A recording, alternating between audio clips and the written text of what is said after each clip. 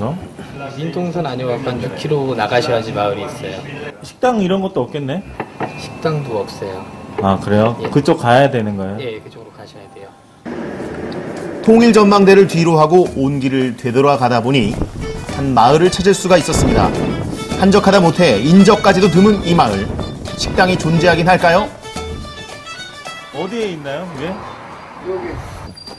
요시당하고 조시당하고 두개 없는데 이경은 안할 거야. 식당이 있긴 하다는 건데 일러준 곳으로 서둘러 발걸음을 옮겼습니다.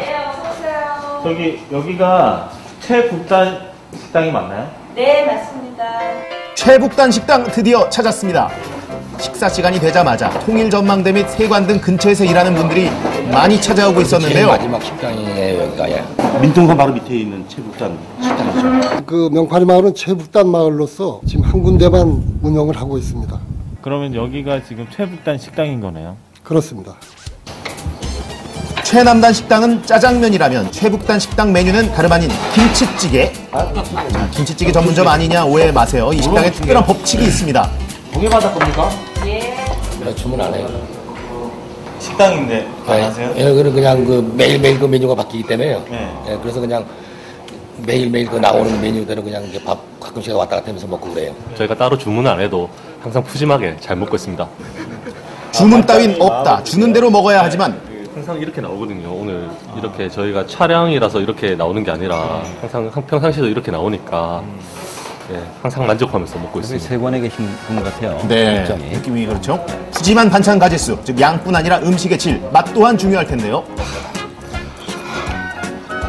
매일매일 틀리게 나오니까 그 음식이 다 맛있고 오늘 조미료를 전혀 안 씁니다. 전혀 조미료로 하지. 그래서 우리가 좋아하죠. 그날그날 이제 그 반찬이 바뀌니까 오늘은 어떤 반찬이 나올까 어, 기대가 되고 좀 설레기도 하죠. 그렇겠네요. 손님들을 기대하게 만드는 메뉴, 굳이 이렇게 하는 이유가 뭘까요? 아침은 출근하시느라고 불실하게 드시고 오시는데 점심 한 끼라도 맛있게 드시라고 제가 이렇게 해드리는 거예요. 요즘 요놈 몸값이 하늘을 찌르죠. 오징어. 삶은 문어를 문어군요. 손질한 후에 거두절미하고 씹기 좋게 썬 다음에 갖은 양념과 함께 무쳐줍니다.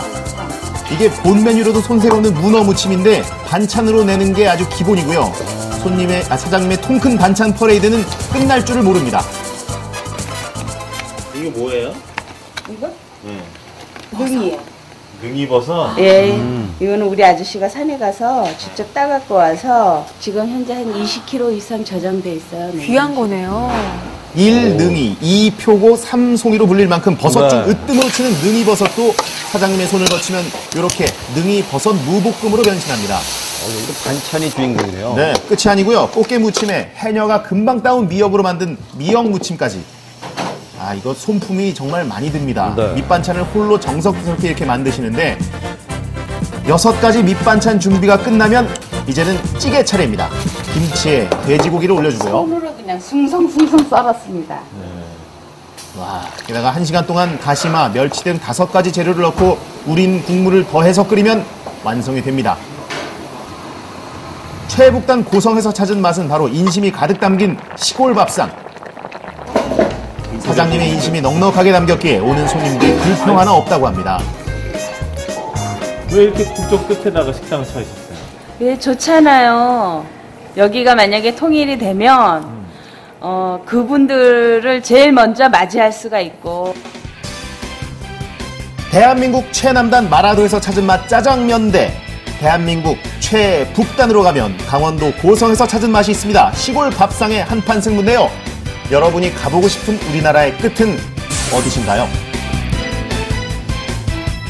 네, 참 멀리 다녀왔는데요. 이렇게 최남단, 최북단으로 발품을 팔아서 다니는 이유는 위치가 가는 특별한 맛은 아닐 것 같아요. 맛있어서 가는 거죠. 그렇습니다. 최남단에 위치한 중국집은 뭐 특허를 받은 것을 알 수 있듯이 특별한 맛을 자랑하기 때문에 13년 동안 손님이 끊이지 않고 있는 거고요. 네. 최북단 한식집은 그날그날 가장 신선한 재료로 만들기 때문에 손님들이 끊이지 않는 겁니다. 두 곳이 다 가기가 힘들거든요. 최북단에 있는 식당보다 더 높이 있는 곳은 이제 병사 식당밖에 없는데 그래도 손님들이 정말 끊이지 않는 이유는 한결같습니다. 네. 네. 어, 양쪽을 모두 한 번에 가기는 힘들고요. 힘들죠. 아홉 시간이니까. 예, 가시면 예. 꼭 한번 찾아보시기 바랍니다.